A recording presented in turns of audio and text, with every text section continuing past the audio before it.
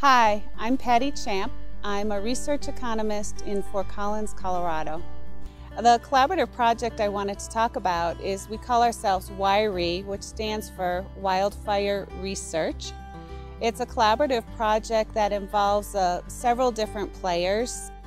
So what we're trying to do in the broad sense is facilitate development of communities that are adapted to wildfires. So there'll be wildfire on the land, but we'll see fewer homes destroyed and we'll see communities that are more resilient to the wildfire issue.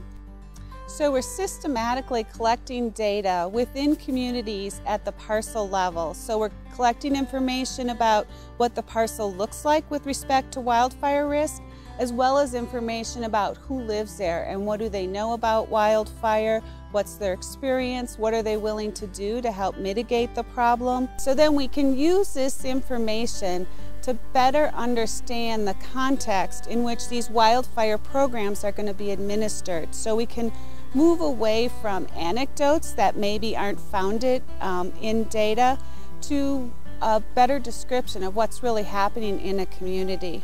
I think one of the most interesting aspects of this program has been to see how people respond to the social data. It really changes the discourse. I'm amazed with how interested fire chiefs are in the responses that their residents may give to a survey. They're interested in knowing what they really think about the topic.